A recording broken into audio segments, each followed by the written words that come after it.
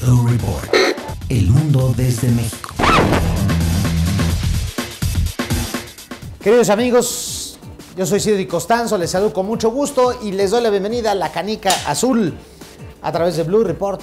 Y bueno, evidentemente, el día ha sido histórico y esta semana es una jornada histórica por la abdicación del rey Juan Carlos I de Borbón y dos Sicilias, el rey de España, a favor de su hijo, como estaba previsto desde hace décadas, a favor de su hijo, el príncipe de Asturias, el príncipe Felipe, que reinará como el príncipe, que reinará más bien como el rey Felipe VI, a partir de que se acaben de realizar los trámites de carácter constitucional y que las cortes así lo decidan.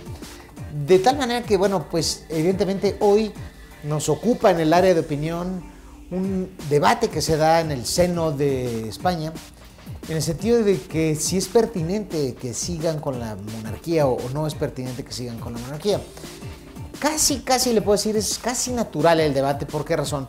Porque hay que recordar que aún a pesar de todo, eh, eh, España es un país que tiene una gran cantidad de republicanos y México es un país que ha recibido una gran cantidad de republicanos y esa ideología está ahí, está presente, está latente, siempre ha existido, no es algo nuevo.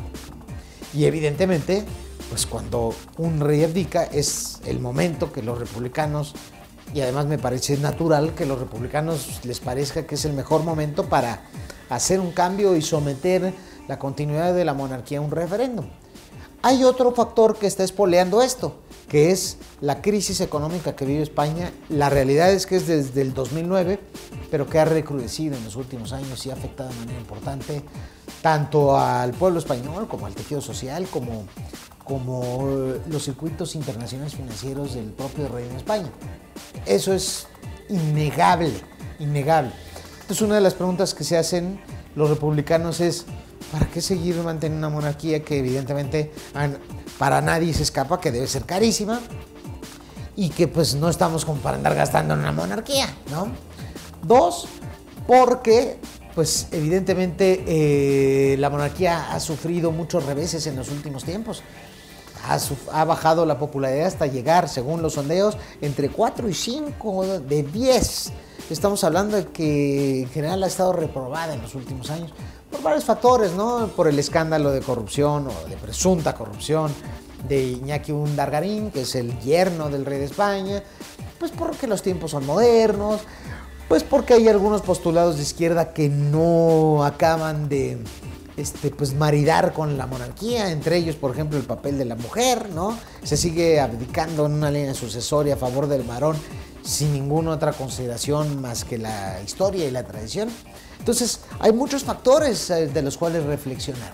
Sin embargo, casi no se habla o no se ha hablado, eh, o poco se ha hablado en América Latina del papel del rey. Muchos le dicen es una figura decorativa, el rey no gobierna, solamente está como figura decorativa.